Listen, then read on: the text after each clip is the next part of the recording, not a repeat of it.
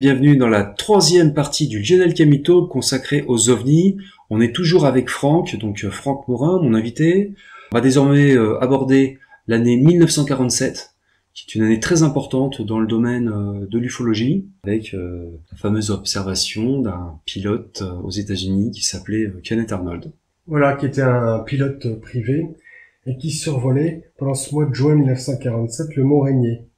Et il a déclaré savoir neuf engins circulaires avec une pointe à l'arrière. Ça, c'est sa première déclaration à l'US Air Force. Dont il estimé euh, la vitesse à 2700 km par heure, et plus tard, elle a refait ses calculs euh, pour les ajuster à 2000 km par heure. Euh, il a été interviewé par des journalistes qui ont opéré une confusion entre le mouvement et la forme de ces objets. C'est-à-dire qu'ils ont appelé des... Kenneth Arnold a dit qu'ils ricochaient comme des soucoupes volantes. Et les journalistes euh, ont dit c'était des soucoupes volantes. Mais en fin de compte, exactement, c'est un, cercle avec une pointe à l'extrémité. Quoi qu'il en soit, le mot soucoupe volante, donc flying saucers en anglais, a été immortalisé et euh, souvent on appelle les ovnis des, euh, des soucoupes volantes. Euh, ce qui est curieux dans ce cas, c'est qu'on a neuf engins, donc le nombre, et surtout leur vitesse. Parce que 2000 km par heure, en janvier 1947, c'est euh, supérieur à, aux meilleures euh, vitesses au monde.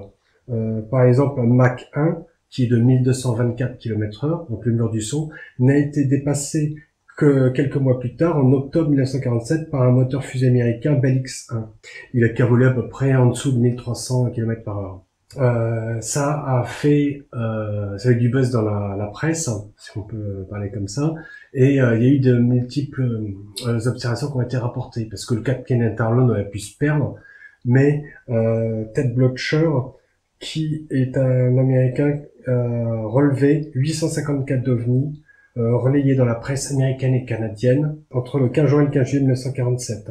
Donc on peut dire qu'il y avait un véritable déferlement d'ovnis à cette euh, époque. Donc est-ce que ces cas sont véridiques ou non? C'est la première question. Eh bien il s'avère que dans 250 cas sur 850, les faits sont multidocumentés. Donc on a plusieurs témoins, euh, on a euh, des pilotes, des scientifiques donc, qui en font partie, et à certaines occasions, les phénomènes aériens non identifiés ont été observés par des familles et des foules entières. Pour les formes observées, on avait des toupies, euh, des disques, des boomerangs. Alors on peut dire peut-être une majorité euh, de formes en, en soucoupe, mais il n'y a pas que ça, il y a aussi des cigares et des sphères, ainsi que des objets de petite taille, inférieurs à un mètre, mais aussi euh, plusieurs fois supérieurs à celles d'un avion de ligne.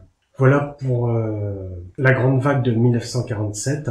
Alors, ce qui est là, c'était là en juin, c'était le 24 juin 1947, hein, l'observation faite par euh, Kenneth Arnold. Donc, on était dans c'était dans l'État de Washington. Et euh, très peu de temps après, donc le 3 juillet 1947, il se passe quelque chose aussi, mais cette fois euh, dans l'État du Nouveau-Mexique. C'est moi deux semaines après, il se passe vraiment un événement aussi qui est majeur à Roswell. Ah oui, le 3 juillet, Bon, le moment d'une nuit d'orage, un fermier nommé Razel trouve des débris éparpillés sur ses terres. Donc euh, il en informe ses proches, il leur montre des, quelques morceaux qu'il a ramassés et contacte le service local. Des militaires bouclent le périmètre et collectent des débris. Et le 8 juillet, le lieutenant Walter Holt, qui est chargé des relations publiques du Roswell Army Field, transmet un communiqué de presse annonçant qu'un disque volant a été récupéré par l'armée. Donc l'information est reprise par la presse mondiale, mais immédiatement un démenti est formulé par le général Ramey, qui est son supérieur. Ensuite, euh, cette épave va être attribuée à un projet de ballon sonde secret nommé Mogul. Ça, c'est assez drôle. ça va être souvent des ballons sondes après. L'armée américaine trouve énormément de ballons sondes, de débris de ballons sondes. Voilà, donc les journalistes vont être conviés dans un fort militaire euh, où on va leur on va exposer des débris. Et il, les transfère, il les transfère à Fort Worth après au Texas, je crois. Euh, voilà, c'est ça. Hmm. Et l'affaire de Roswell va vite être oubliée. Euh, c'est que 30 ans plus tard, une étude euh, qui s'appelle The Roswell Incident, qui a été publiée par Charles Berlitz et William Elmore, qui va relancer une polémique qui va jamais être fermée. C'est-à-dire qu'en interrogeant les multiples témoins de l'affaire, donc les fermiers euh, qui ont retrouvé les débris, les voisins, les policiers, les militaires, ils vont reconstituer le, le parcours. Ils vont s'apercevoir qu'il y a des choses extrêmement bizarres. C'est-à-dire que les débris euh, récupérés euh, ne ressemblaient euh, à rien. Il semblerait qu'il y a des certaines formes, par exemple, qui pouvaient se plier, reprendre leur forme initiale. D'autre part, de multiples incidents vont être signalés. il va être notamment le fermier Mac Brazel va être maintenu sur la base de la base de Roswell, euh, prisonnier pendant quelques jours. Des, des témoins vont être euh, victimes de pression. une radio qui voulait interviewer le, le fermier va être intimidée. On va dire que sa licence de presse va lui être retirée si c'est le cas. Et puis à plus tard, toutes les archives ont été détruites aussi. Ah oui, toutes les archives de Roswell, qu'elles soient papier ou enregistrement radio, ont été détruites. Donc c'est une période un peu plus large que l'incident, c'est-à-dire de, de, mémoire c'est de 45 à, 52. Donc quelqu'un a donné l'ordre de détruire toutes les archives pendant cette, euh, cette période, mais on ne sait pas qui a donné cet ordre. Il reste plus rien sur, euh, sur Roswell. je crois que ce qui est important, c'est que Roswell, c'est la seule unique fois où l'armée américaine a communiqué là-dessus. Parce qu'ils ont dit qu'effectivement, ils avaient trouvé des débris d'un engin euh, d'origine extraterrestre, qui serait craché. Ils l'ont quand même annoncé une fois. Il y a eu un démenti ensuite. C'est la seule et unique fois où l'armée américaine a communiqué officiellement sur le sujet OVNI. Depuis, c'est silence radio total. À partir de, cette date, où effectivement, pendant une journée, il va être question euh, de, de soucoupe volante officiellement reconnue par l'armée américaine puis démentie, euh, et il n'y aura plus aucune communication officielle nous reconnaissant le, phénomène aux États-Unis par euh, l'armée, bon, et notamment l'US Air Force. C'est-à-dire qu'à chaque fois qu'un cas d'OVNI va être rapporté par les témoins, euh, l'armée va nier les faits ou apporter euh, des justifications qui ne correspondent pas à la réalité et qui parfois sont tellement décalées et absurdes qu'on peut euh, douter du sens de cette démarche. C'est vrai qu'on va pas sombrer dans les théories complotistes, mais quand on entend certaines explications qui sont avancées par moments, sont tellement ridicules et absurdes que bon, ça alimente les soupçons, hein, c'est obligé. Hein. Bon, on peut parler du cas de Lubbock. En 1951, au Texas, euh, plusieurs témoins euh, en groupe vont observer euh, des passages d'objets volants en formation. ces objets se déplacent à forte vitesse, qui est estimée supérieure à Mach 1, et un témoin va, qui est passionné de photos, nommé Carl Hart Jr., va réussir grâce à un appareil spécial à prendre plusieurs clichés en série de ces phénomènes. On y voit, c'est une photo qui est célèbre, hein, vous pouvez faire une recherche sur les lumières de Lubbock en 1951, vous allez la trouver facilement sur le net. On y voit une vingtaine de cercles lumineux euh, photographiés en formation. Euh, les autorités vont reconnaître l'authenticité de ces photos. L'US Air Force. Hein. L'US Air Force. Donc, euh, mais ils vont trouver des explications très étranges. Ah, celle-là, je l'adore. Je crois que c'est ma préférée, celle-là. Alors d'abord, ils vont dire que ce sont des pluviers. Euh, les plus vieux qui sont des animaux, et ils vont émettre l'hypothèse que leur poitrine huileuse pourrait réfléchir à la lumière pour former des cercles. Et euh, des botanistes, euh, enfin des, des biologistes leur ont rétorqué que les pluviers volés en petite formation de 5 ou 6, c'est pas de 20. Alors dans ce cas, après ils sont, ils ont réajusté ça en disant que c'était des canards. Ils ont quand même de l'imagination les mecs. Hein. Oui. surtout des canards qui volent à des vitesses supersoniques. C'est quand même euh, assez rare. Alors des, ufologues ont quand même pris, euh, ont quand même poursuivi cette piste et ils ont contacté l'office migratoire des oiseaux en leur demandant s'il était possible, sur la base de ces photos, qu'il s'agisse de, de canards. Donc bien évidemment, l'office migratoire a répondu que non, qu'il était hors de question qu'il puisse s'agir de canards. Mais pour revenir sur Roswell, euh, s'il ne s'agissait que d'un ballon son, comme, comme ils l'ont expliqué, c'est comme étonnant qu'il y ait eu un tel branle-bas de combat pour un simple ballon sonde, quoi. Euh, oui. En fait, ce qui a semé des doutes sur l'affaire de Roswell, c'est que euh, les réactions de l'armée semblent disproportionnées pour un simple ballon sonde. Euh, le fait, bon, bah, de boucler tout le secteur, de garder en retenue des témoins, de les menacer, d'essayer de verrouiller des organes de, de presse. Ensuite, euh, par certains, euh, il a été rapporté d'autres faits. Walter Hoth, donc la personne qui a fait la première déclaration, mm. sur son lit de mort, a fait une déclaration notariale en 2002, qui a été publiée en 2007, ne devant être ouverte qu'après sa mort. Il a notamment déclaré avoir été emmené lui dans un hangar de l'armée américaine par le colonel Blanchard, où il aurait vu un engin en forme d'œuf de 12 à 15 pieds et deux petits corps allongés au sol, qui correspondent à une taille d'enfant de 10 ans, sous des bâches ne laissant apercevoir que leur tête, plus grande que la normale. Il a aussi été, il a été aussi supposé qu'il y a un deuxième site de crash, un peu plus loin, quelques dizaines de, de miles. Alors, euh, des déclarations des témoins se sont révélées contradictoires. Il a été supposé aussi qu'il y ait des opérations de désinformation sur Roswell, des désinformations, comme l'appelle l'ufologue Joël Mena, amplifiantes ou réductrices. Réductrices, ça consiste à, nier les faits ou à les attribuer à des absurdités, comme euh, le cas des canards, par exemple. ou amplifier, bah, c'est en rajouter. C'est dire, bah oui, oui, il y avait bien des extraterrestres, il y en a plusieurs soucoupes qui sont atterris. Donc, euh, ou faire un faux documentaire, par exemple. Ou faire un faux documentaire. Donc, on... va, on va assez peu en parler dessus là, la, vraie fausse autopsie euh, d'une créature justement qui aurait été récupérée lors du crash d'un ovni à Roswell. Cette vidéo dont on a beaucoup parlé, hein, que certains ont voulu faire passer comme véridique. Ça s'est révélé être un canular assez grotesque. Mais malheureusement, ça fait couler beaucoup d'encre. C'est vrai qu'on aurait voulu décrédibiliser totalement ce qui s'est passé à Roswell, qu'on ne s'y serait pas pris autrement, quoi. Parce que maintenant, dès que tu parles de Roswell, tout de suite, les gens rigolent.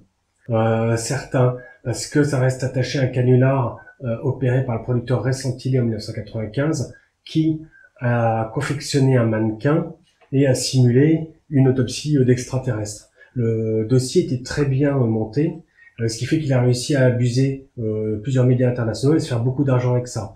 Mais le canular a été inventé notamment par les chirurgiens pour trouver des, anomalies. Hmm. Alors, en fin de compte, je pense qu'il faut dissocier cette affaire de Roswell. C'est tout simplement un producteur qui a voulu faire un canular et qui a réussi à se faire beaucoup d'argent avec. Néanmoins, le mythe de, de, Roswell est toujours euh, présent. Mm. On ne sait pas réellement ce qui s'est euh, ce qui s'est passé là-bas. Mm. Euh, pour avoir la preuve qu'il s'agit vraiment, euh, mm. on va dire, d'une incursion extraterrestre, de récupération, il faudrait bah, retrouver la soucoupe, les vrais débris, éventuellement des cadavres non humains.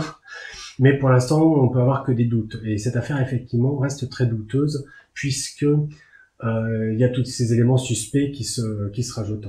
Alors certains partisans de la, voilà, de la théorie euh, de l'existence des extraterrestres disent que l'armée américaine, justement, aurait récupéré euh, les débris d'un engin extraterrestre et aurait procédé à de la rétro-ingénierie pour s'approprier la technologie extraterrestre et développer leurs propres armes, en fait. Ça, c'est une des théories mm. aussi qui existent. Hein.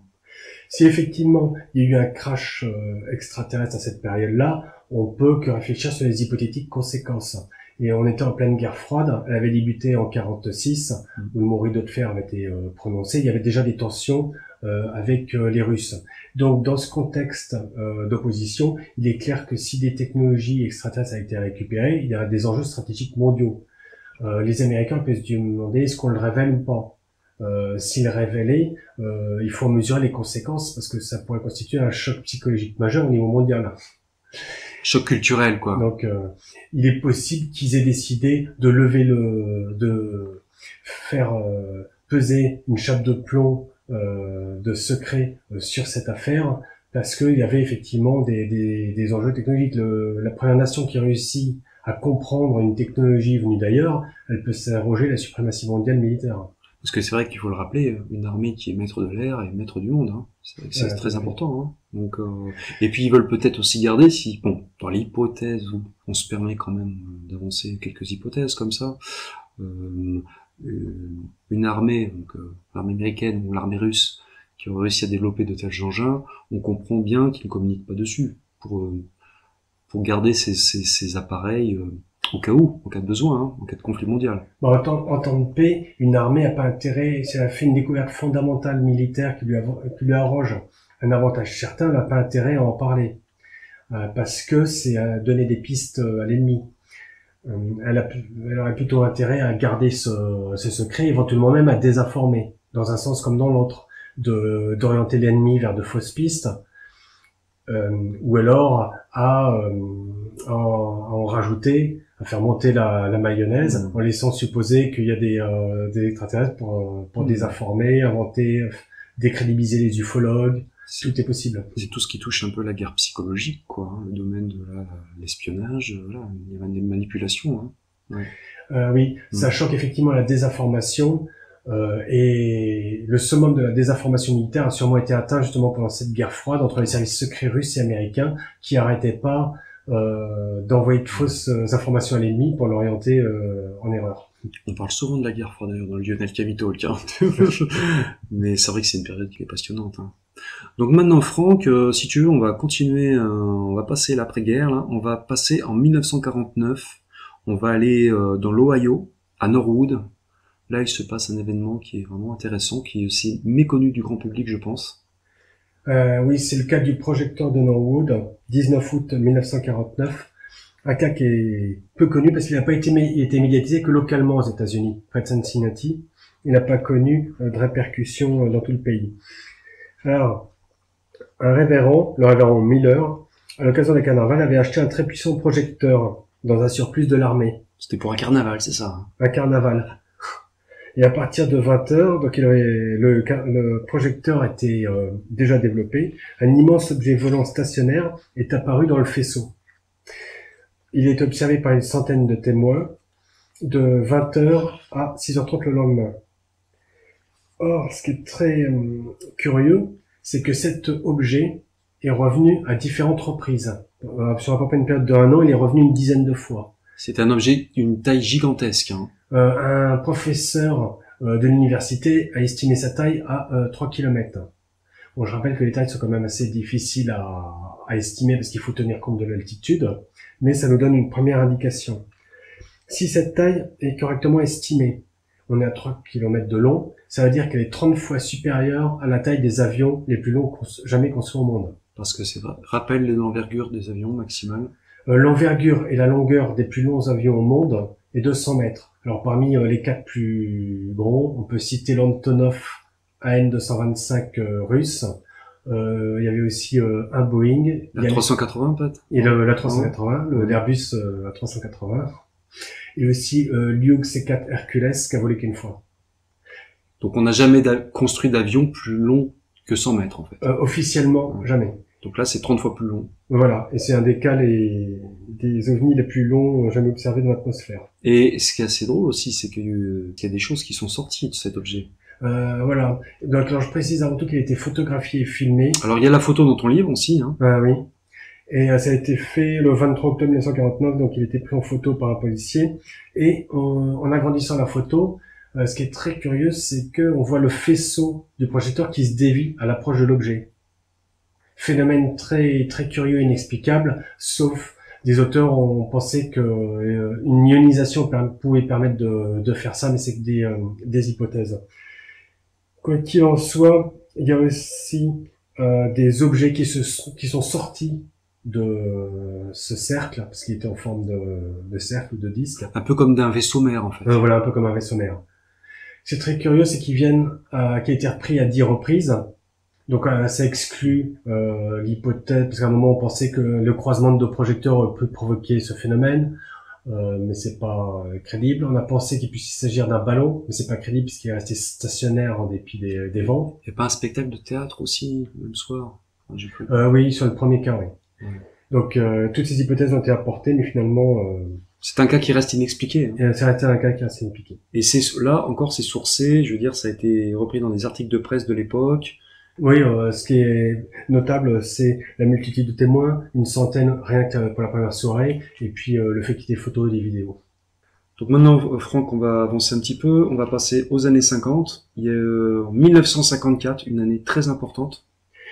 Oui, puisque à cette année-là, on a eu euh, une vague euh, très importante de phénomènes euh, aériens non identifiés partout dans le monde. Et notamment en France. Et notamment en France. Très important. donc pour restreindre en Europe et ensuite en France et en Italie, où pendant cette période et surtout de septembre à décembre 1954, on a des centaines de cas euh, d'ovnis qui ont été répertoriés dans la presse locale régionale et nationale. Partout en France, et ça je pense que beaucoup des auditeurs euh, l'ignorent encore. Euh, oui. Et quand on souhaite euh, précisément étudier cette vague, bah, les coupures de presse restent, la, la, principale base d'études et on s'aperçoit qu'elle était abondamment relayée. Euh, certains ufologues ont fait la collection des articles de presse à l'époque. euh, il y en a de- des multitudes. Ça doit être génial, ça. T'as Oui. t'as un magazine, un Paris Match. Il, ça existait Paris Match à l'époque, peut-être, 1954. Euh, j'ai pas les, les magazines de l'époque. euh, Ça doit être génial d'avoir ça. Hein. Euh, l'AF on avait des chroniques de l'AFP, euh, plein de journaux bon, qui existent ou qui n'existent plus. Il y a même, euh, j'ai vu sur YouTube, vous pouvez voir, euh, chers auditeurs, il y a des vidéos. Hein. J'en ai vu une en noir et blanc là, un journal télévisé où des braves, un brave notable là raconte sa, sa rencontre avec un, un objet un peu un peu bizarre.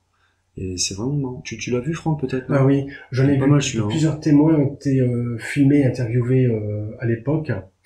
On a des cas qui ont fait le tour du monde, comme Marius De Wild, qui était un garde-barrière. Il a entendu son chien aboyer. Il sort, il voit un objet euh, conique ou en forme d'ovale posé sur les rails et euh, des présumés ufonautes qui vont le paralyser et, et s'enfuir. Euh, on va trouver des traces euh, ou des éraflures sur les rails. Et c'est une caractéristique qu'on va parfois retrouver dans d'autres cas euh, présumés d'atterrissage. C'est-à-dire que des témoins disent qu'ils ont vu un objet posé au sol ou décollant ou atterrissant, et euh, donc ils contactent les autorités qui vont, qui vont constater que des végétaux ont été brûlés, aplatis, noircis, éraflés, euh, magnétisés. Donc, euh, Donc là, il y a eu des cas de rencontre du troisième type. Il y en a eu quand même. euh, oui, à peu près une centaine, C'est quand même assez énorme. ce qui constituerait le tiers, d'après les auteurs qui ont répertorié ces événements, le tiers des RR3 observés en France se sont produits rien que pendant cette vague en C'est 1954. énorme. Et moi, la vidéo que j'ai vue, c'était donc une autre personne. En fait, c'était un point notable, tu sais, euh, d'ailleurs, qu'il est très sympathique. On voit que c'est quand même une personne qui est digne de foi, quoi. C'est un type, euh, tu sais, qui, qui sortait d'un d'un repas au restaurant avec un, un autre entrepreneur. Il parlait de béton, je sais pas De quoi. bâtiments. Voilà, c'est ça, il parlait de béton armé, puis, euh, Ouais. puis tout d'un coup, ils ont vu un objet arriver, mais, euh, pareil, un objet vraiment su- surprenant. qu'ils ont décrit en forme de, de méduse. Voilà. Et puis qui avait des trajectoires incroyables, quoi. Qui, qui, qui, qui oscillaient, qui, qui montaient, qui descendaient, qui, et vraiment, vraiment, euh, ils- Mm. leur témoignage est troublant parce qu'ils ont vraiment l'air, euh, voilà, dignes de foi. Et Ils sont plusieurs en plus là. hein. Donc euh, ils sont trois même, parce qu'à un moment ils passent, il y a un fermier aussi, ils abordent un fermier. Et le fermier l'a vu aussi. Et d'ailleurs, le fermier a dit, bah d'ailleurs, je suis content de ne pas avoir été le seul à l'avoir vu, parce qu'il avait peur de passer pour un dingue aussi. Hein. Oui, il faut savoir que dans les études d'OVNI, les enquêteurs spécialisés euh, se sont aperçus que beaucoup de témoins hésitaient à témoigner. Ils ont même, ils l'ont même quantifié, en général, ils disent 1 sur 10. Euh, Jacques Vallée, euh, qui avait fait des études sur les témoins dans l'armée de l'air, disait que seul un témoin sur 12 acceptait de, de parler. Surtout quand il s'agit de rencontres du deuxième ou du troisième type, je comprends que euh, les gens puissent y mettre des, des réticences. Tout ça signifie que les témoignages officiels, officiellement rapportés, ne pourraient n'être que la face euh, immergée de l'iceberg. Il y a aussi beaucoup de cas voilà, de, des personnes qui, qui ont des problèmes de boisson, des problèmes mentaux, des affabulateurs aussi, des personnes, des mythomanes, qui Mm. peuvent raconter n'importe quoi. Mais quand on voit le témoignage du, de la vidéo dont je vous parlais là, c'est vrai que vraiment, euh, lui, euh, voilà, c'est vraiment troublant. Quoi. Ils ont l'air de bonne foi et puis euh, tout à fait équilibrés. euh. Voilà, parce que ici, euh, quand on n'a pas de photos de, de vidéos, on peut reposer, on peut se reposer que sur les témoignages. Euh, donc là, on peut se rapprocher des méthodes de la police ou de la gendarmerie quand ils font des enquêtes. Je les ai interrogés à ce sujet, et notamment sur la fiabilité d'un témoignage. Et moi, j'aurais demandé, par exemple, quand plusieurs personnes assistent à un fait divers, est-ce qu'ils en font des, euh, des rapports fiables? Et là, ils m'ont dit bien sûr que non, euh, parce que même si les grandes lignes restent les mêmes entre chaque euh, témoignage, ils peuvent varier. Des gens sont plus observateurs que d'autres, des gens peuvent se tromper. Sous le feu de l'action, ils n'ont pas, enfin, pas tous les détails en tête. La Euh, fragilité du témoignage humain. c'est la fragilité du témoignage hein. humain. Alors, il, il existe, en tenant compte de ces éléments, des méthodes pour s'en prémunir. Euh, C'est-à-dire en essayant de vérifier si les, les différents témoignages sont cohérents. Est-ce qu'il y a des points communs entre chacun? Euh, Le fait que des témoins euh, soient euh, des membres euh, de l'aviation euh, peut euh, les amener à avoir des à évaluer les, la nature d'un phénomène aérien de manière plus précise. Si c'est des notables, ils n'ont pas forcément de meilleure capacité d'observation que les autres, mais ils mettent en jeu leur réputation quand ils viennent témoigner. Donc on peut penser qu'ils font sincèrement. Euh, D'autre part, des témoins sont parfois en état de choc. Donc si c'est pas simulé, ça veut dire qu'il s'est peut-être passé euh, quelque chose. Certains indices, comme euh, effectivement j'en parlais, toutes ces terres ou ces herbes aplaties, Irradié. irradiées, ouais. magnétisées, euh, peuvent... euh, elles, elles certifient pas que les faits sont réellement passés tels qu'ils sont décrits, mais elles démontrent qui s'est vraisemblablement passé quelque chose. C'est un indice de plus du faisceau, en fait. On n'a pas de preuves flagrantes. C'est Les faisceaux d'indices concordants. Je crois que c'est important de le dire. Je pense qu'il y a beaucoup de gens qui l'ignorent. C'est que la gendarmerie, il y a un, il y a un formulaire, hein, je crois, pour recueillir les témoignages liés aux ovnis. Hein. À l'époque, c'était effectivement les gendarmes qui recueillaient les, euh, les témoignages. Il y avait peu d'enquêteurs privés, à part Jimmy Dieu, euh, qui était un ufologue français euh, célèbre, qui menait des enquêtes de, de terrain. Et le GEPAN n'existait pas encore. D'accord. Donc grosse, grosse, énorme vague en, en France. Et je pense que, enfin moi-même, je, je l'ignorais hein, en 1954. Euh, donc on va continuer, on va passer dans les années 60. Je voudrais parler assez brièvement de ce qui s'est passé en 1965 euh, sur la côte nord-est des États-Unis, euh, le fameux blackout. Le 9 novembre euh, 1965, dans le nord-est des États-Unis et au Canada, euh, c'est pour l'énorme blackout, c'est-à-dire qu'une panne euh, Panne euh, générale d'électricité sur toute la côte nord-est des États-Unis et au Canada. Voilà. Donc, ce qui était surprenant, c'est que ça a été soudain et euh, d'après euh, les euh, éléments attribués à une surcharge d'énergie inconnue. Or, euh, des observations ont eu lieu, euh, des observations d'OVNI ont eu lieu dans les environs. Dans l'État de New York, près de Syracuse notamment. Euh, tout à fait. Où il y a des, il y a des centrales électriques là-bas. hein, Oui. D'ailleurs, c'est là que c'est cette occasion, il me semble que à Manhattan. il y a eu beaucoup de gens qui sont restés bloqués dans les ascenseurs un certain temps. On a constaté neuf fois plus tard une recrudescence du nombre des, naissances d'ailleurs. Donc, euh, conséquence du blackout. Mais j'ignorais justement que justement peut-être qu'une des causes du blackout, voilà, pourrait éventuellement être liée. à- Et Le dans le monde, on a eu d'autres cas de, de panne électrique ou de perturbation euh, de l'éclairage, de l'allumage ou euh, de bâtiments euh, alimentés à l'électricité, euh, voire même de perturbation des, moteurs de voitures à l'approche de ces phénomènes. En fin de compte, cet incident en 1965 aux États-Unis fait partie euh, d'une longue liste euh, de- d'autres événements euh, pendant l'année 1965 qui a constitué encore une nouvelle vague mondiale d'OVNI, qui a commencé dans la région antarctique en juillet et juin euh, 1965, euh, notamment près de la ligne- l'île de la Déception, où des euh, ovnis ont été observés et pris en photo. Et puis après, c'est remonté euh, dans des pays d'Amérique latine et d'Amérique du Sud, et notamment en Argentine, Chili, Uruguay, Pérou, Brésil, Venezuela au Mexique, où des archives locales font mention euh, d'ovnis observés. En Europe de l'Est aussi. hein. Donc voilà, la- l'Occident a été touché, la- l'Amérique, mais également euh, tout le bloc soviétique. hein. Alors, pour le bloc soviétique, j'ai trouvé un dossier bah, qui résume les, euh, les observations de phénomènes euh, atmosphériques anormaux en URSS euh, dans euh, les archives du GEPAN. C'est euh, un document élaboré par l'Académie des sciences du RSS, l'Institut d'études cosmiques, publié en 79, qui recense 256 cas en Russie de 1923-1974. Mm. Et on y distingue des similitudes avec les ovnis observés en Occident, sous forme bah, d'étoiles, disques, sphères, cigares croissants, avec euh, des vitesses très variables, euh, tout comme les tailles. Dans une cinquantaine de cas, des changements de forme euh, sont observés sur ces ovnis, Ah. ce qui est une nouvelle particularité encore plus troublante que les précédentes. L'originalité, ouais. Ouais, ouais. Mais justement, ça va à l'encontre de ce, ce que disaient certains. Ils disaient qu'on voyait des ovnis en gros que, qu'aux États-Unis. Parce que c'était la culture populaire, tu sais, euh, le cinéma. Et, et là, ça prouve, voilà, on en voit partout dans le monde et aussi euh, euh, dans le bloc, euh, l'ancien bloc soviétique, quoi. Donc ça, Mm. ça remet en cause justement, voilà, cette, cette explication un peu simpliste. Hein. Alors, pour répondre à cette question, est-ce que les ovnis sont observés euh, uniquement aux États-Unis?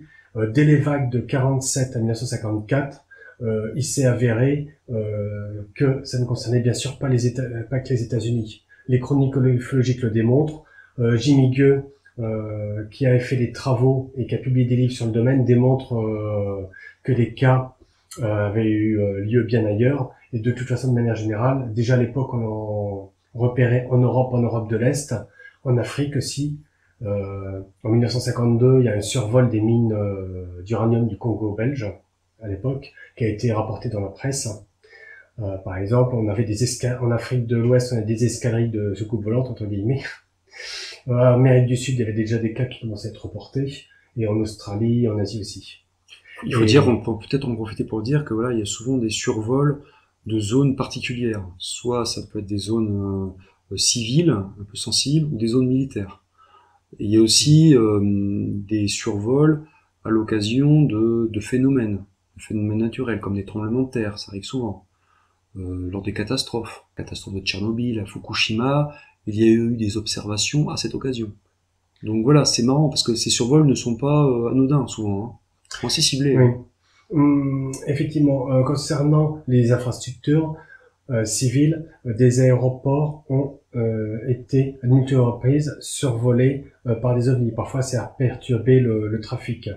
Euh, dans les années 50, l'aéroport d'Orly a été survolé par un ovni qui a perturbé le, le, trafic pendant plusieurs heures. En 2014 à Brême, en Allemagne, on a eu en Chine, en, surtout à partir des, années 2009, des euh, ovnis qui ont été observés, mm. euh, toujours à côté des aéroports. Et euh, toute une série dont j'ai fait la liste, il serait fastidieux de, le, de, les, de tous les citer.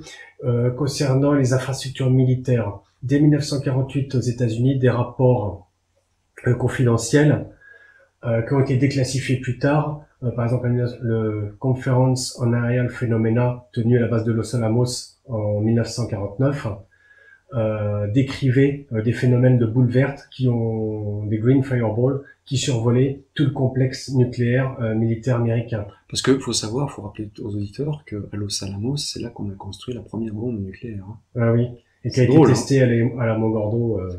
Faut dire que voilà, ce sont des ovnis qui sont observés au-dessus de, sites militaires sensibles, liés au nucléaire, qui vont militaires ou civils, parce qu'il y a aussi des survols de centrales. Euh, beaucoup d'auteurs ont effectivement fait le lien entre le phénomène ovni et le, nucléaire. Historiquement, donc on a cette première vague qui a beaucoup inquiété euh, les États-Unis et l'US Air Force à partir des années 1848. Euh, Ils ont même lancé le projet Twinkle pour essayer de photographier, d'observer ces objets qui se déplaçaient à des vitesses phénoménales. Au départ, ils pensaient que c'était des météorites, mais le docteur Lincoln Lapace leur a démontré que pour des questions de couleur, de déplacement, de comportement intelligent et de, sifflement, ça pouvait pas être des météorites. Ensuite, euh, des, euh, le, euh, survols de, de, centrales nucléaires ont eu lieu euh, en Russie à partir des années 70-80. On a des cas qui sont un cas qui est rapporté dans le rapport Cometa notamment. Euh, on en a eu euh, en Europe hein, euh, et aussi en France. Le plus, le plus récent, c'est dans la période de 2014. Oui, normalement, on a dit que c'était des drones. oui. Mais bon, bon c'était peut-être des drones, on ne sait pas. Hein. Alors pour les faits, sur les 19 centrales nucléaires en France, 15 ont été survolées entre novembre entre octobre et novembre 2014. Mm. Euh, officiellement, euh, on appelait, décrivait ça comme des aéronefs assimilables à un drone ou mini-drone. C'est la qualification mm. officielle. Mm.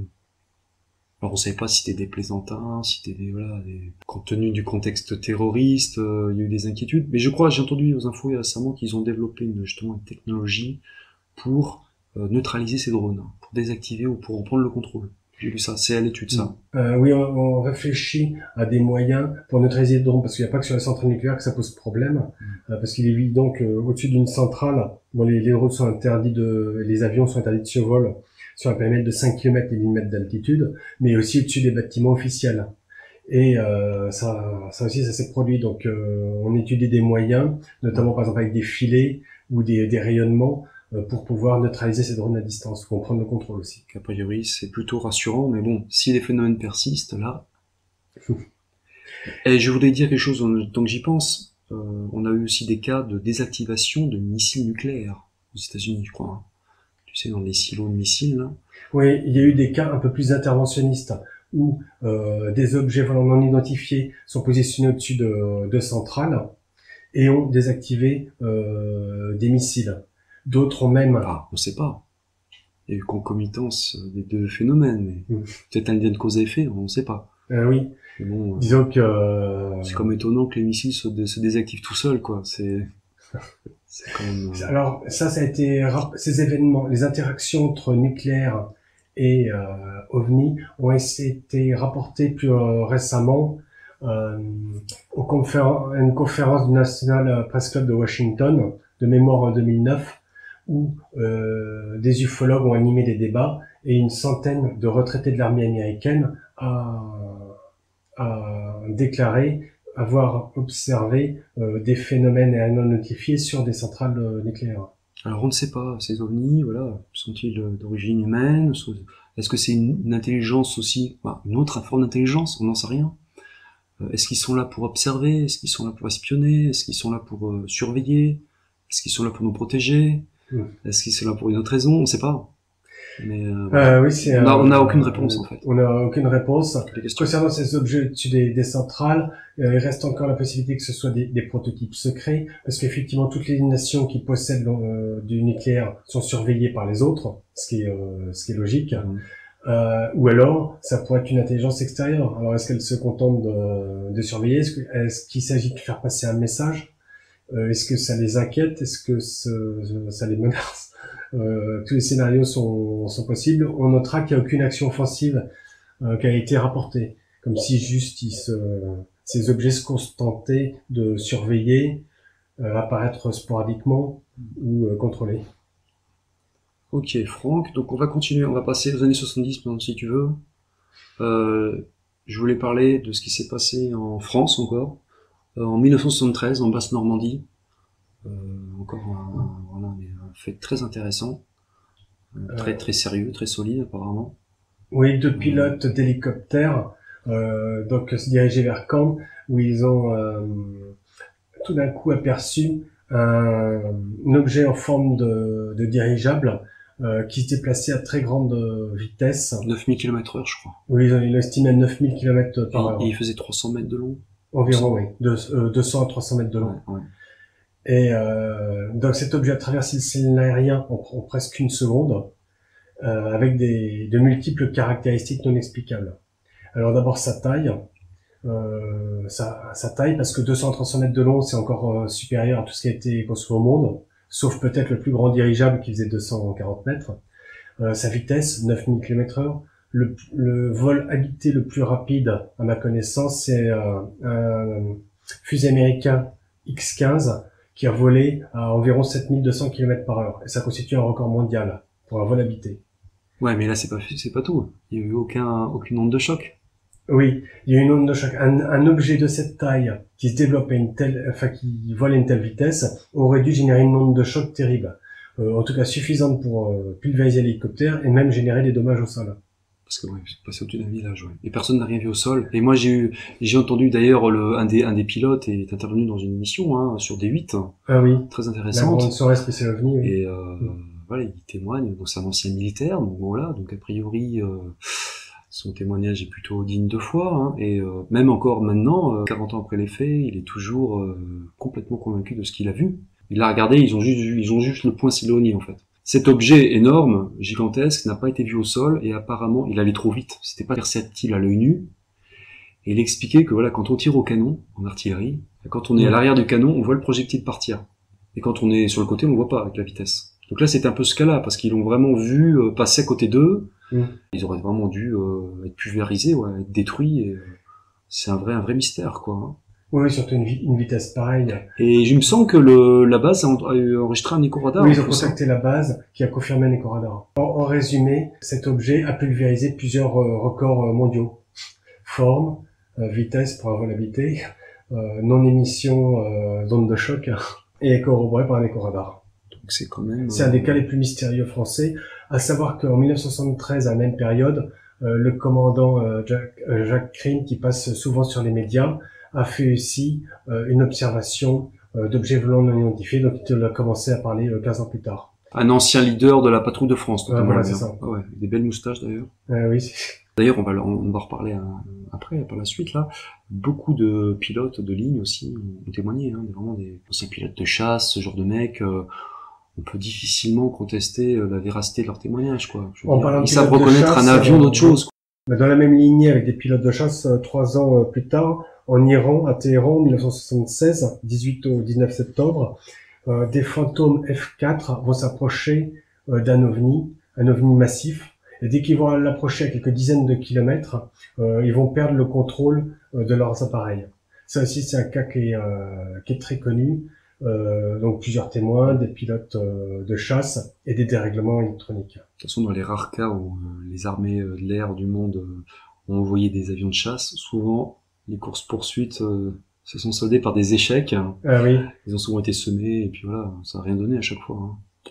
On n'a pas de cas officiellement euh, connus où euh, des euh, avions auraient pu euh, rattraper, euh, voire euh, capturer ou abattre euh, certains euh, objets volants non identifiés. On a eu des échanges de tirs. Au Pérou en 1980, euh, il y a un pilote qui a réussi à tirer sur un ovni mais sans, sans effet. Et les missiles, je crois, auraient été absorbés par l'objet. Euh, oui, très curieux. C'est- euh, Ouais, donc c'est ce cas c'est connu aussi, hein, effectivement. Ouais. Mais il est pas dans ton livre, d'ailleurs. Non, enfin je rajoute. Un petit conseil euh, pour, le- pour la prochaine édition. en fait, quand, le- le- quand je l'ai écrit, Tu vois, je bon, connais livre, continué mine de rien, tu vois. J'ai continué à travailler dessus, et donc j'aurai d'autres euh, d'autres cas, des précisions à rajouter. oui. Des militaires, 1980, dissidents de Rendlesham, au Royaume-Uni, où des lumières habituelles, inhabituelles, des paniques d'animaux et la présence d'un objet métallique gris lumineux sont signés sur la base stratégique de Bentwaters. Et il me semble qu'il y a eu un, un- des personnes qui a été irradiées, lui. hein. Euh, non seulement après cet événement, donc il y a des militaires qui sont approchés de, de l'objet qui était posé au sol, euh, selon leur déclaration. Des traces de radioactivité ont été trouvées, mais quelques années plus tard, en 2015, euh, bon, ben, il y a un militaire qui a porté plainte contre Air Force parce qu'il était irradié et euh, il a gagné son procès. Ouais, comme quoi. euh, ouais. Bon, après, ils pourront toujours dire que la source d'irradiation était autre. Hein. Mm. Voilà. Faire le lien, toujours. hein, C'est toujours pareil. hein. Un cas euh, reconnu comme très problématique, ouais, celui de Redenschein. Est-ce qu'on maintenant on peut peut-être passer euh, au cas de la en 1983 qu'on avance un petit peu parce qu'on Euh, oui. a encore pas mal de choses à dire. 1983-1985 dans la vallée de l'Hudson River à- aux États-Unis. Alors là, c'est un, un cas intéressant. Euh, si tu veux l'expliquer. Euh, très intéressant puisque euh, des milliers de témoignages, donc euh, on estime qu'il y a au moins 5000 témoignages, voire jusqu'à 7000, évoquent des vagues récurrentes d'engins volants non identifiés, de grande taille, en forme de boomerang, silencieux, et avec des comportements oscillant entre les positions vol stationnaires, en déplacement lent, ou avec des accélérations fulgurantes. Donc l'Hudson River, c'est pas très loin de New York parce que voilà, Oui. l'Hudson débouche euh, à, New York, à Manhattan. Mais effectivement, là, euh, on est dans une nouvelle ère en fait. On, on entre dans l'ère des engins euh, massifs en forme de, de V, en forme de triangle, en forme de boomerang. Parce que là, la Oui. taille est gigantesque là. Hein, euh, Euh, oui, ça, ça dépasse encore pour certains les, euh, la vitesse, la taille des plus longs avions euh, au monde, au-delà de 100 mètres, euh, dans l'Hudson River. Donc effectivement là, on est, euh, on a deux, euh, une certaine particularité sur cette vague de 1983-1985. D'abord, c'est sa durée. Euh, pendant deux ans, en plus de deux ans, on va voir des observations de ces engins. On peut s'étonner de la durée et de la répartition géographique qui va rester concentrée sur une zone. Et ces deux caractéristiques vont être souvent euh, constatées précédemment, par exemple pendant la vague de 65 ou 54, où on va avoir une certaine durée et une localisation euh, qui vont être contingentées. Même cette région n'est pas non plus anodine. Je veux dire, euh, cette région abrite aussi, euh, Des ressources stratégiques militaires. comme par hasard. C'est étonnant. Hein Et notamment euh, bah, les sous-marins, euh, des sous-marins nucléaires stratégiques. Et il faut signaler un contexte particulier aussi à l'époque. C'est-à-dire que euh, on parlait de l'initiative de défense stratégique qui était plus ou moins un projet de guerre des étoiles. euh. Initié par Ronald Reagan. Oui. Mhm.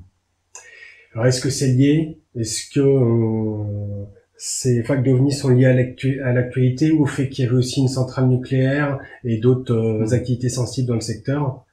On, euh, Et puis cette époque, va. 83-85, c'était un peu l'apogée de la tension, hein. Lors de la guerre froide, on était un peu à l'apogée de la tension. On a frôlé la troisième guerre mondiale à cette période. Hein. ouais, oui. Donc on était vraiment... euh, On l'avait déjà frôlé avec euh, l'incident de la, la baie des cochons, les missiles de Cuba. Ouais. Mais euh, Donc là, euh, c'était vraiment, c'est vraiment que dans les années 90 qu'il y a eu une euh, une démilitarisation et des accords euh, pour réduire l'arsenal militaire stratégique. Et d'ailleurs, excellente transition, Franck. Euh, Justement, les années 90, il y a une vague très intéressante qui est proche de nous encore, en 1980 à 1991, et qui va intéresser aussi nos voisins belges. C'est la fameuse vague belge, euh, voilà, de, de cette période. Très intéressante. Très intéressante. On notera toujours une durée euh, assez importante puisqu'elle a duré de 1989 à 1991, soit plus de deux ans. Elle a commencé euh, avec une certaine intensité le 29 novembre 1989, où le colonel de Brewer, qui était à l'époque responsable de la force aérienne belge, a déclaré qu'il y avait eu 140 observations d'ovnis euh, rapportées cette, euh, cette soirée-là. Des ovnis particuliers, c'est-à-dire de forme triangulaire, volant à très basse altitude en campagne. Euh, parfois très lentement, à la vitesse d'un vélo, diront certains témoins, et ils, ils comportaient des lumières. Euh, donc une au centre Une au centre de couleur rouge et euh, et trois euh, blanches euh, sur chaque extrémité. chaque pointe. Et beaucoup de témoignages ont été rapportés par des gendarmes. Euh, oui, parfois même en groupe. Là encore, on a beaucoup de témoignages puisque une association ufologique euh, belge qui est nommée la SOBEPS a réuni euh, 2000 témoignages. Ils ont fait des enquêtes poussées sur 600 d'entre eux. C'est ainsi qu'ils ont pu relever euh, des points communs euh, sur ces engins. Donc, outre ceux que l'on a cités, il y a ainsi euh, le fait que ces engins étaient silencieux, ce qui est très euh, particulier et inexplicable parce que tout engin moteur aérien, hein, euh, que ce soit un hélicoptère ou un avion, est censé émettre des bruits. Ça contredit totalement l'explication qui avait été avancée à l'époque. Il faut se rappeler qu'on était au moment à peu près de la guerre en Irak, et c'est à cette époque que l'état-major américain a dévoilé l'existence de, de l'avion furtif, le F-117, et ils ont dit qu'effectivement c'était lui le coupable. C'était le F-117 euh, qu'on avait vu en Belgique, Mm. mais ça ne colle pas du tout, parce que le F-117 ne vole pas à moins de 300 km heure. Euh, voilà. Le F-117, c'est un avion euh, furtif en forme de, de triangle. Alors, il est en forme d'aile de chauve-souris. C'est pas un triangle parfait, Ouais. hein, en plus. Non, c'est même pas un triangle parfait, hein, quand tu le regardes bien. Oui, euh, le, le cockpit un peu euh, surélevé. oui. Mm. Euh, On a dit que les lumières, en fait, correspondent, parce que le F-117 a, a des lumières au, euh, au niveau de ses trains d'atterrissage. Mais bon, F-117, quand il vole, a les trains d'atterrissage rentrés. Donc là, ça ne colle pas. oui, c'est mieux. Euh, ça colle pas à plusieurs niveaux. Donc effectivement, euh, la vitesse minimale de, de ces engins et ensuite quelques euh, incohérences. Euh, on peut se demander pourquoi est-ce que les Américains auraient envoyé pendant deux ans des F-117 au-dessus de la Belgique. Euh, si c'était un prototype à tester, euh, on va en souligner les risques. Parce que si un avion euh, tombe en panne, s'il est abattu, euh, si euh, il, a, il possède des dysfonctionnements, euh, ça serait très délicat d'expliquer ça et ça pourrait dé- déclencher un incident diplomatique international. Sans compter le risque euh, que ces technologies, par exemple s'il y a un crash, euh, soient récupérées par le pays en question, ou même des agents euh, infiltrés dans le pays. Comme ça s'est produit en Yougoslavie euh, quand Oui. il y en a un qui s'est craché. J'imagine un conflit entre la Belgique et les États-Unis. euh, je sais pas qui en sortirait vainqueur, moi. hein. Oui. Je pense que, ouais. Et, euh, et puis, non, tu fais bien de dire ça. C'est que, justement, l'armée belge, d'ailleurs, il faut leur tirer notre chapeau, hein, à plusieurs niveaux. C'est que c'était une des rares à communiquer sur le phénomène. Et l'armée belge, à l'époque, a envoyé, euh, l'armée de l'air a envoyé deux F-16 hein, à la poursuite, justement, de ces mystérieux engins. Ça s'est passé le 30 mars euh, 1990, où des témoins en visuel ont commencé à observer euh, des objets volants non identifiés. Et ça a été même été filmé authentiquement ce jour-là. Donc, euh, des bases radar au sol ont capté euh, des échos. Euh, des F-16 ont euh, donc tenté pendant une heure d'intercepter ces, euh, ces objets. Et euh, donc il faut euh, rendre hommage bon, à l'armée euh, belge euh, parce que c'était un geste courageux. Donc ils ont diffusé euh, tous les éléments techniques concernant cette poursuite. C'est le colonel De Boer qui l'a fait lors d'une conférence. Une des rares armées au monde à jou- avoir joué la transparence. Ah oui, parce que même si plusieurs armées au monde ont reconnu euh, qui leur territoire avait été survolé par des engins volants non identifiés, rares sont celles qui ont, en ont donné les caractéristiques techniques précises. Alors qu'est-ce que nous apprend le colonel de, de Bois au cours de cette conférence? Ben, Il décrit avec précision les manœuvres des engins et notamment des montées et des descentes accompagnées d'accélérations fulgurantes. Selon lui, ces manœuvres sont théoriquement mortelles pour un, autre- un être humain. Ça consistait à encaisser 30 à 40 G pour chaque pilote. Euh, voilà. Un- sachant qu'un G, en fait, pour expliquer aux auditeurs, c'est le facteur de charge, c'est-à-dire le nombre de fois où un pilote se sent écrasé par son propre poids. Je crois qu'on peut supporter que, que 10 G, il me semble. Euh, à partir de 7 ou 8, ou 8 G, ça commence à devenir compliqué. On peut en supporter encore 10 à 12, mais ça le devient encore plus. Et à partir de 15 ou 16 G, pendant une durée très, même pendant une durée courte, le pilote risque la mort. Ouais. seul, enfin quand il existe, hein, pour la petite histoire, des, des insectes qui peuvent faire des déplacements en 30 G, comme la mouche ou la libellule. Ah, ça fait des grosses mouches quand même. Hein. Euh, oui, mais c'est des, euh, c'est dû à leur morphologie très particulière. Et euh, d'ailleurs, ou alors une autre hypothèse voudrait que euh, même si des, déjà si des engins humains sont capables de faire ça, il faudrait euh, que les pilotes soient équipés de combinaisons spéciales inexistantes officiellement qui puissent absorber euh, de tels changements de direction, par exemple. Puis un tel nombre d'appareils, c'est pas possible d'avoir autant de prototypes. Euh, oui, parce que certaines soirées, on avait jusqu'à 15 signalements. Donc, ce qui veut dire qu'il y avait une véritable flotte qui était déployée. Et euh, pour la petite anecdote, euh, certains euh, appareils, certains aéronefs répondaient aux appels de phare des automobilistes. Ah oui, oui, oui j'ai vu ça, oui. C'est intéressant. Donc un comportement intelligent, quoi. Euh, oui. Ouais. Essayer de communiquer. Ou alors ils étaient joueurs. Alors, euh, d'ailleurs, ça a été déjà observé pendant la vague précédente dans l'Hudson River. Il y avait des réponses aux appels de phare aussi. Donc encore une fois, chapeau à nos amis belges, hein, parce que franchement, ça a été les seuls à vraiment euh, voilà, euh, Mm. communiquer les infos et puis euh, faire preuve de transparence. Parce qu'il faut dire que c'est vrai que bon, les armées, bon, en France, on surnomme l'armée de la Grande Muette. Voilà, en général, les armées communiquent très peu. En même temps, on peut comprendre aussi, c'est vrai que c'est un sujet très sensible, c'est la, ça relève de la sécurité nationale. Donc on peut comprendre qu'une nation n'ait pas forcément envie de dire qu'elle voilà, qu'elle qu'elle est que on comprend que si des objets ou des engins inconnus survolent le territoire euh, national, euh, c'est assez inquiétant, hein, surtout si on ignore euh, s'il s'agisse d'engins qui appartiennent à une puissance étrangère, quoi. Ça serait, ça serait aussi faire un peu un aveu d'impuissance aussi. Oui, et c'est peut-être la raison Donc, pour laquelle euh, déjà les Américains connaissaient cette grande vague d'OVNI en 1947. Le- L'US Air Force a démenti son existence parce que c'est peu glorieux pour les Américains qui étaient encore auréolés de leur gloire euh, contre les nazis, de leur victoire, euh, puissent admettre que des, euh, une force euh, aérienne supérieure survole impunément le territoire. Ensuite, dire ça publiquement, c'est s'exposer aux questions des journalistes et des enquêteurs qui ne cesseraient de harceler euh, les gouvernements sur la nature réelle de ces phénomènes. Ça pourrait affoler les populations aussi. Hein. Si effectivement euh, il est révélé que des sites stratégiques euh, nucléaires ou militaires sont survolés, ça pourrait inquiéter les, les populations. Et Or, les, les militaires semblent euh, impuissants face à ça.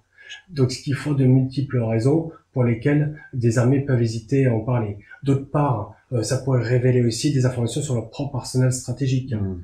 Or, c'est jamais bon de le, de le faire. Euh, donc, euh, néanmoins, certaines armées euh, ou certains pays au monde ont diffusé des archives sur les ovnis.